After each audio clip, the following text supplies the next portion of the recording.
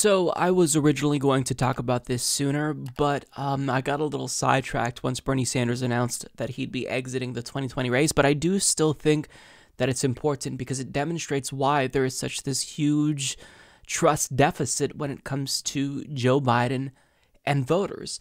And I think that politicians in his generation disproportionately need to realize, not to sound ageist, is that in the age of the internet, you can't just brazenly lie anymore. Like, we're not going to wait until the mainstream media broadcasts your conflicting uh, speeches or opinions or views.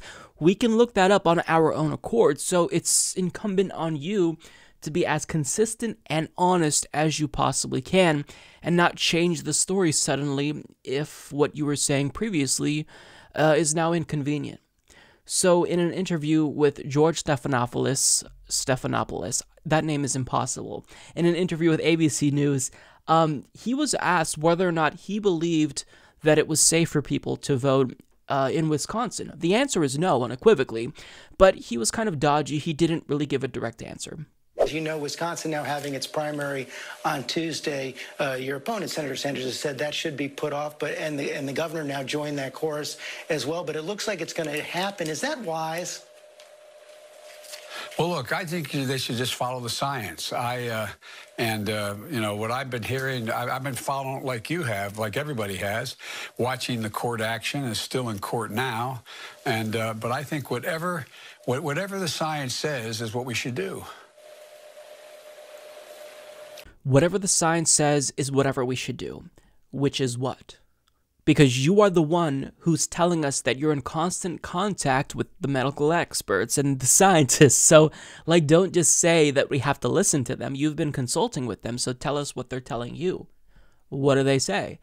I would imagine uh, they would be saying, of course, it's a bad idea to force people to vote during a global pandemic. So, you know, at that time when Bernie was still in the race, if you and Bernie both told people that it's not safe for them to vote, then you know there's there's really no loss for either of you there. You're both making the responsible, albeit difficult decision to tell people to protect themselves, right? I, there's no way that I would have encouraged people to vote uh, and risk their lives potentially. Like I would have that on my conscience forever if I were running for office and I told people to vote, even if I knew it risked it would potentially put them in jeopardy and risk their lives. Um, but Joe Biden, uh, a couple of days prior in a virtual town hall, said, you know what, it's not up to me. We just have to let the courts decide. Well, I mean, they decided. We all know how that turned out, and the Republican courts in Wisconsin said, we're going to force them to vote in a global pandemic. Now, he's been making a lot of really problematic statements about COVID 19. And this isn't just a recent phenomenon. He was making problematic statements on Super Tuesday 3, which occurred on March 17th. And for more on this, we'll go to a Daily Beast report by Scott Bixby and Hunter Woodall, who explain there's a lot of things that can be done. That's for the Wisconsin courts and folks to decide, former Vice President Joe Biden said last Thursday in a virtual press briefing, in which he insisted that in person and mail in voting could both be done safely, even though he considers the possibility of a national convention in the state to be a potential risk to public health. Hmm, I wonder why. It's almost like he doesn't want to risk his own ass. A convention having tens of thousands of people in one arena is very different than having people walk into a polling booth with accurate spacing with 6 to 10 feet apart, one at a time going in, and having the machines scrubbed down, Biden said. I think you could hold the election as well dealing with mail in ballots and same day registration. I think it could be done, but that's for them to decide. I can only wonder if he's completely aware of the situation on the ground in Wisconsin. Kim Butler, head of the Polk County Democratic Party, said of Biden not calling for a delay. Because I don't think if he was really seeing and hearing what was going on here, that he would necessarily feel that way. But Butler, who lives in a red county and said the dynamics playing out on the ground in her area have shown her how difficult it can be to vote, worries that in person voting Tuesday means that voters will get sick and that fears of the pandemic will suppress the vote. My major fear is that people are going to get sick and possibly even die from voting tomorrow, Butler said. In Sauk County, the Democratic Party chair said Monday morning she was focused on getting absentee ballots returned, but in another sign of the times, she wasn't actively encouraging in person voting on Tuesday. So initially, he said we should let the courts decide. The courts decided and seeing the blowback that the Republican controlled court got, how unpopular that was, almost universal condemnation from people in the center and the left, well, all of a sudden, he's changing his story. He's no longer saying, we uh, should distrust the courts. This is what he had to say. Do you think you won in Wisconsin tonight? Ordinarily, I'd be hitting you over the head with all these exit polls and crosstabs and things that I know about people all the way down to what they like for lunch. Uh, we're not going to have anything until Monday. What's your gut? No, we're not. Well, my gut uh, is that we shouldn't have had the election in the first place. Uh, the in-person election. It should have been all mail ballots in. Uh, it should have been moved in the way that five other states have done it. It's uh, the idea didn't have enough poll workers in what uh, over a hundred and some polling places. Uh, and so he was unequivocal. He was unequivocal, but prior to the blowback that the Wisconsin court received, he wasn't so unequivocal. He was pretty dodgy, if you ask me. I mean, you saw the video, decide for yourself. Now, this isn't the first time that we've gotten this sort of wishy washiness from Joe Biden. And, you know, it's not the first time that they basically endorsed the idea that voting in a global pandemic is a okay.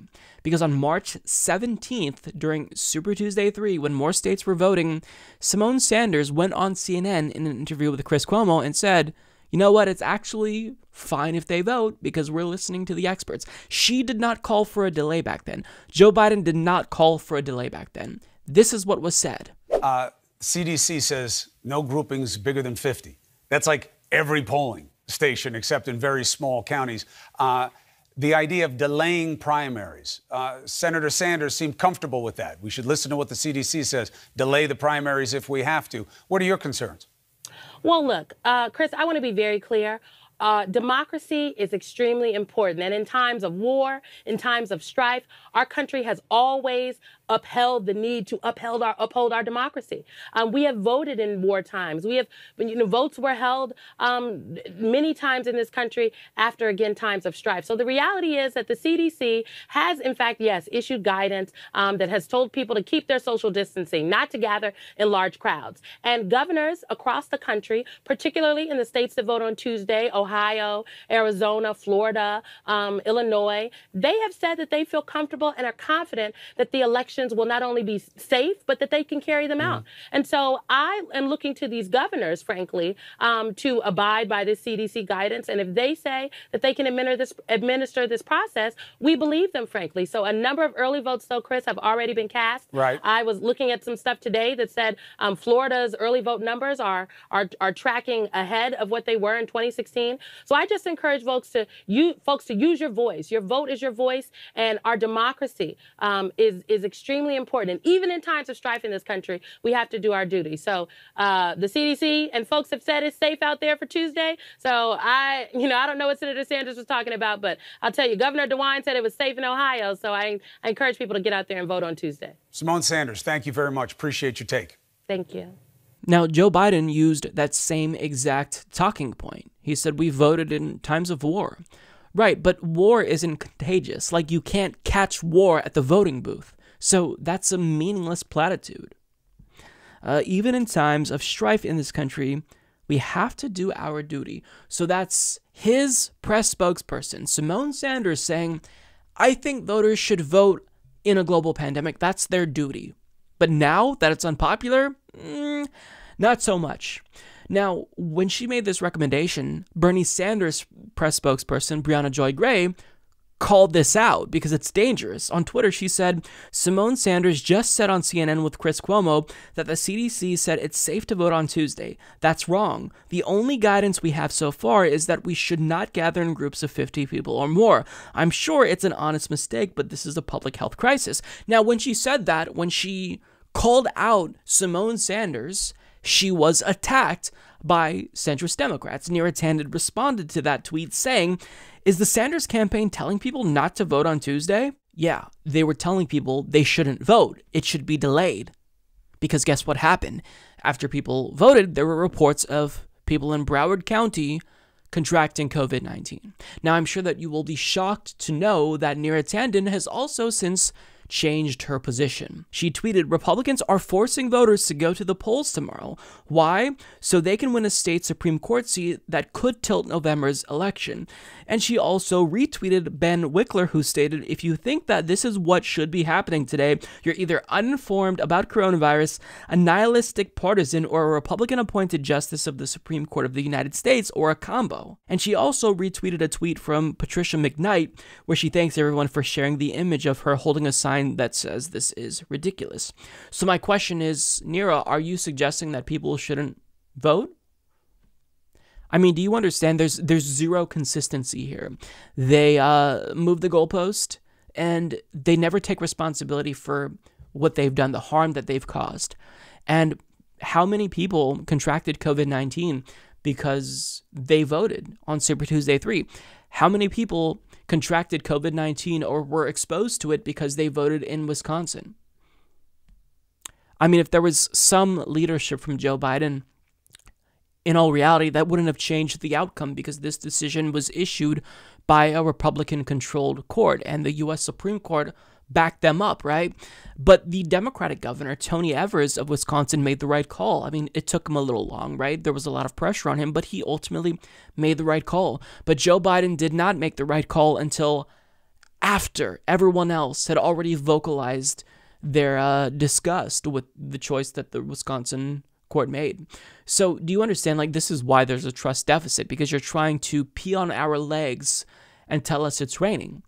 You're trying to say, oh, I was with you all along. No, you weren't, though. And this is the problem. This is why we can't trust Joe Biden. This is why voters aren't enthusiastic to vote with him because he's a Johnny come lately when it comes to every issue. It's not just this, it's the crime bill. All of a sudden, the crime bill was bad, and he's backing legislation that would undo the damage that his bill caused. All of a sudden, you know, the Iraq War was a bad war, even though he voted for it and advocated for it um, as a lawmaker. Do you understand? Like, this is why there's so little trust, which translates into a lack of enthusiasm for Joe Biden. It's why we told people he was a bad candidate to take on Donald Trump. But now it's too late. He will face off against Donald Trump, barring some extreme circumstance where he is replaced at the convention, which is highly unlikely, I think. and yeah, so, um, what we need to be pushing for is vote by mail. We've had it in Oregon for a very long time, and it has been very successful. Now, this is a battle that we will have to have with Republicans because Donald Trump was very explicit in condemning vote by mail. I think he called it corrupt. He said it's bad for Republicans. Um, too bad. You see, this kind of uh, they're mask off. They're saying the quiet part out loud. They're not supposed to admit that all of the voter suppression tactics was actually meant to suppress the vote. They're supposed to chalk it up to some other bullshit, you know, um, excuse like, well, we don't implement these voter ID laws because we want to stop black and brown people from voting. We institute these types of policies because, you know, we're trying to stop voter fraud, which is so widespread. So it's just, it's a really frustrating situation. Um, these are the most important times where Americans are looking for a leader, and Joe Biden has uh, failed unquestionably when it comes to leadership here.